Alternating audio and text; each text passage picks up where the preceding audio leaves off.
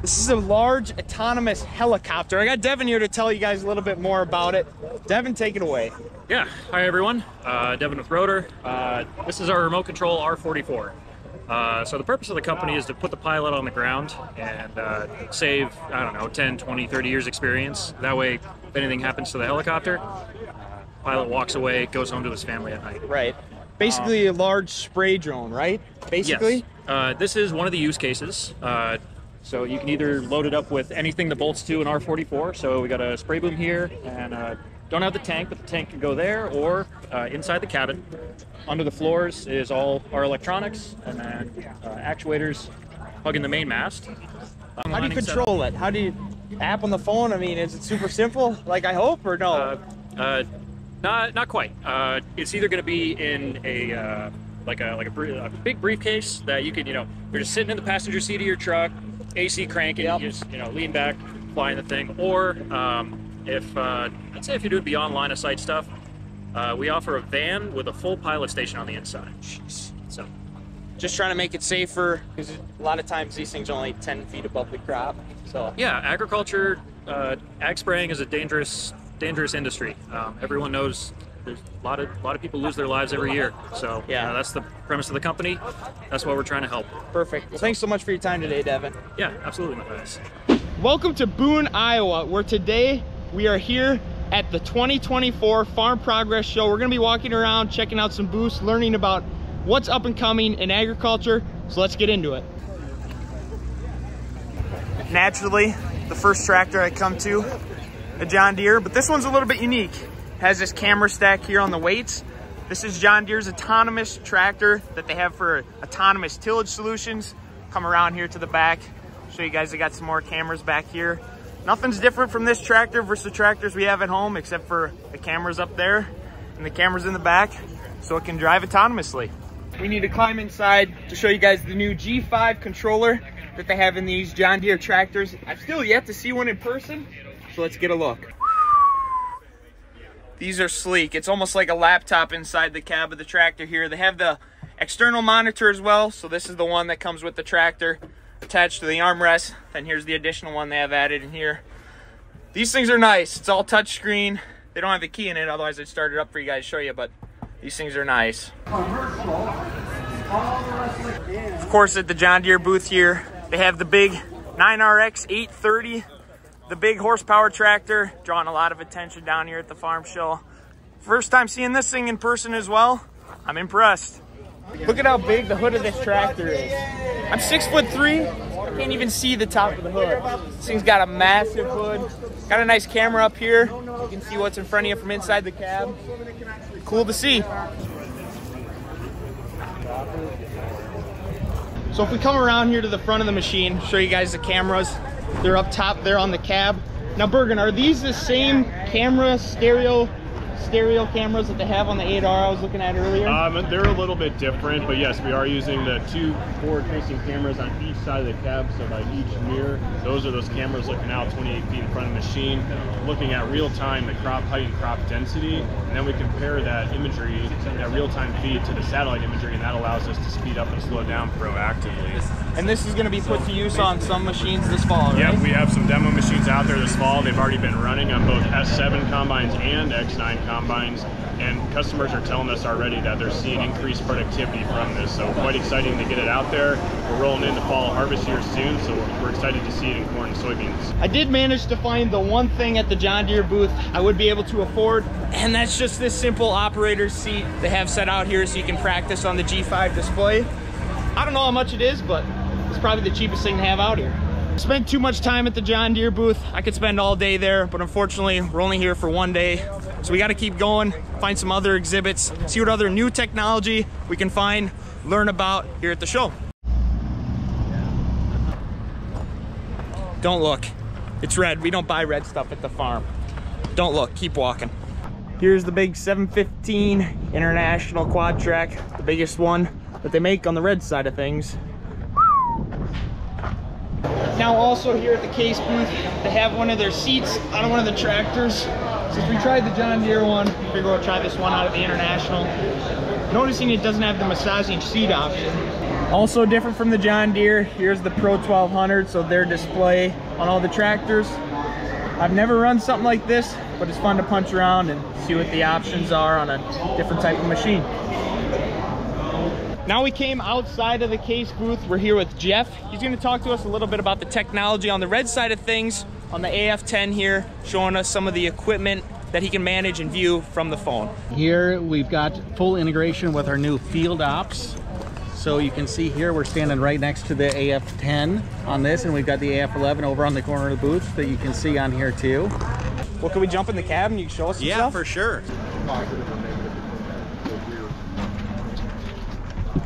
I tried out the seat back in there. That was Yeah, I was gonna say one of the first things that you got to check out here is the new seat. oh dang! All the controls are down here. Yep. That Uh, is nice. Heated, heated. cooled, And my favorite, massage. massage. They didn't have that inside there, and I made that comment. Everybody's like, "Of course you make that comment." Now they Yep. do. Yep, here it is. That's awesome. So, All right, what else yeah, do they have inside awesome. here? So yeah, very similar controls to our 260 series uh, and other combines that we got. So as we, uh, you know, look at this big combine here, it's not going to feel so foreign, right? We were looking at the 1200 back in there. Yep. So similar uh, look and feel to what we've got across our our other machines. Yep. So that's kind of nice. Again, full integration with Field Ops, so I could pull up my phone and I could log in here and I could See see, all what's this. on these screens. Yep. Okay. Mhm. These things look familiar. Our Martin Till row cleaners off the planner. We have the exact same ones. Obviously they got different styles, but you guys should recognize these. Somehow made my way over to the air tractor exhibit. Looks a lot different than the normal tractors we've been viewing today. Got Adam here. Yeah, this system here is called the Swath Pro system. It's made by Capstan Ag Systems. So it's individually nozzle control, it's pulse width modulation. So ground rigs that do pulsing nozzles, that's the exact same technology that's on these planes. And with this system, you can pick what nozzles are on as you're flying across the field by just the press of a button. So if you're doing two gallon work, you hit your two gallon profile up in the cockpit. Yep. And let's say your next field is a three or four gallon work, you hit your next profile. So it. switches it. This fan here on the front is the pump. So that is your This is the pump. this is the pump. Yep. So this is what produces your pressure.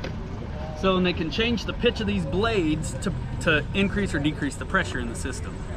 Dang. So that's what this here is what produces your pressure. Yeah, so this is what's powering the pump. Yeah, this uh, when the prop's running. Yeah, this there's is a going. there's a switch in the in the cockpit that has this has a brake in it. Yep. So they can uh, set that brake and it stops. Right, so it doesn't So it's spin not if they don't want the Producing pressure. Yeah. Yep. And as soon as they let the brake off, it's spinning, Boom. and then it's producing pressure to the system. Now here's one of the pilots. He wasn't the one that actually landed the plane here at the farm show, so I have to give him a little bit of grief. But he's gonna be kind enough to take us up there to look inside the plane, show us some of the technology going on inside there, and we got to talk. maybe let us touch the steering controls if we if we walk So- up politely. Yeah, I have an operation just south of Des Moines. I'm not an actual ag pilot. I help work on them, and I, I fly for fun. And uh, I'm third generation. So Oh, my cool. grandfather, my father Yeah. have been in the business. My brother and I run the company together. So, but yeah, we can jump up here and All take right. a look inside the cockpit of the 802 here. This is a air tractor. Uh, 802. Uh, it is the largest air. First off, you call it an air tractor instead of a plane. Well, it is a plane, but the air tractor is the model. So there's several different manufacturers Gotcha. out there. Okay. An air tractor is this specific built, just like a Chevy or Ford truck. So Yep. uh, it's a spray plane. This is an 800 gallon aircraft. It holds about 820 gallons total. Um, it has 360 gallons worth of fuel right here in the wing. So from the edge of the wing out just past the red cap is your wing tank. So we got one on each side, and then this holds all the product that we're spraying. So from Here's the from here up to just in front of that handle, and then the rest of it is all engine. Um, it's a 1500 horsepower engine. It's a Pratt and Whitney uh, Dash 67 on this aircraft. Uh, five-bladed Hartzell prop. Cruising is about 190 miles an hour when they're flying. When we're spraying, we're doing about 160, 170, uh, depending on the environment. I see the Swath Pro controller up here. Yep. So that's what they're using to control the nozzles. Yep. That's, up yeah, that's here. that Capstan Yep. system there. So, um, Cool. you know, if you're in an emergency, this is emergency depth handle. So what does that do? If you hit the it- emergency, it, It opens up. It opens up the gate, and all the product will come out of the airplane in about three or four seconds. Jeez. So if you're taking off and you have an issue on takeoff, you're not going to make the end of the ru- off the end of the runway. We don't use it very often. You don't hope to Um, use it. No, yeah, we hope we don't have to use Yeah. it. This is really cool. I didn't realize the planes had this on the outside. This is how many gallons are inside that 800 gallon tank. It's a digital reading. Obviously right now it's only showing one, but just a cool way that technology makes their lives easier to help us out as farmers. Here's the rules. We can't trap it with a shirt or any other body parts to the body. So the strategy is we're gonna hold both hands out to start, sweep the money down. I'm gonna ask to see if I can put the dollar bills in my pocket so I can keep using both hands. That's the strategy.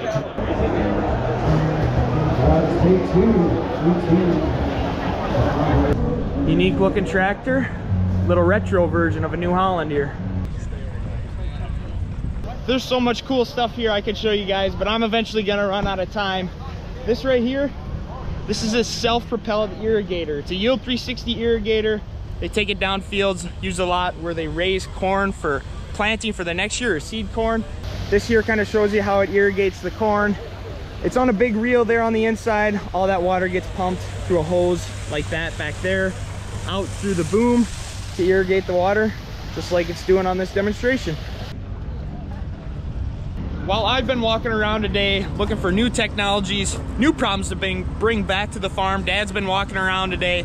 I haven't seen him since we left the, the opening gate, but he's going around trying to figure out solutions to our grain pit problem back at home. So I'm in the Sukup booth, thought maybe I'd run into him here. We'll keep walking, try to find new problems that we can bring back to the farm while he's trying to solve some of the problems we already have at the farm. World's biggest grain cart right there, 3,000 bushels. Fortunately, we don't have a tractor big enough and available in the fall to pull it, but it's cool to see.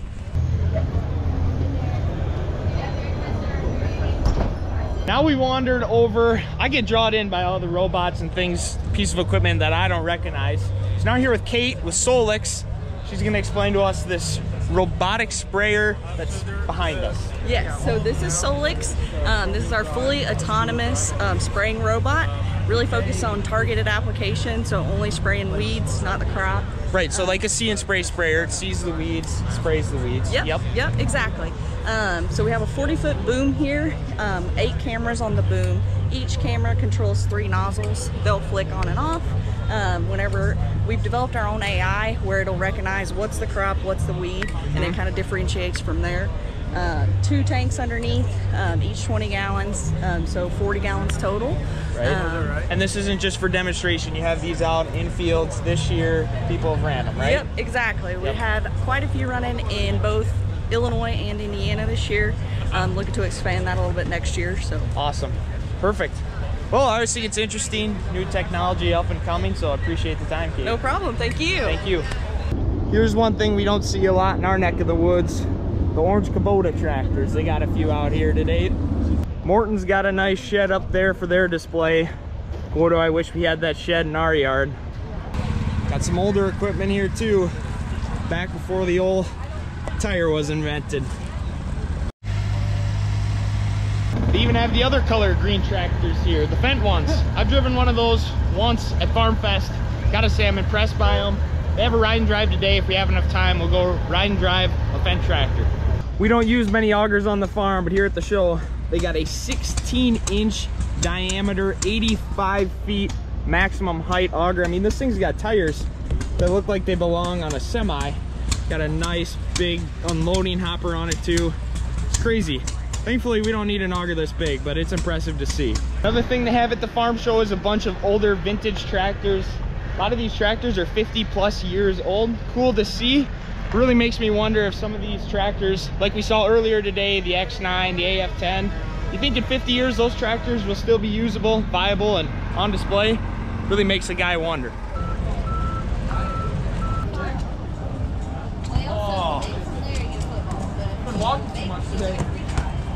Here we have a little robotic four-row planter. It's all self-propelled. Kind of cool seeing this thing. Completely self-contained. Nice little four-row planter. This thing would have been nice to send out this year in all of our drowned out spots to plant it all on its own. Kind of cool. Made it through everything at the farm show that I wanted to make it through today. Ran up with mom, met up with mom, I should say, at the last row. What'd you think of the show? You get a bunch of stuff you wanted? I did. I had a good time. I learned a lot, but I'm super, I'm super tired, and I'm tired of walking, and I'm hot. It's a fair amount of walking, that's for sure. We're trying to find Daddy's in one of the other tents, go meet up with him. First time going to a farm progress show, gotta say, I'm impressed with everything I saw so far. It switches between Boone, Iowa and Decatur, Illinois every other year, so who knows? Maybe next year it'll be in the cards to end up going again to learn some new things. Now we've left the show, saw everything, at least all that the day could provide now that it's four o'clock. So now we gotta make the three and a half hour trip back to the farm. But it was cool to see a lot of things out here today. Hope to come back in the future. But that's it for today's video of HiTech Farmer. Thanks so much everybody for watching. We'll see ya in the next one.